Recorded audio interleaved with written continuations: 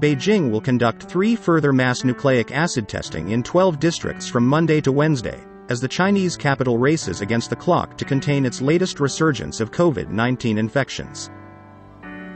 Ordinary people in Beijing fully support the city's epidemic prevention policy and make their contributions to the city's fight against COVID 19 resurgence.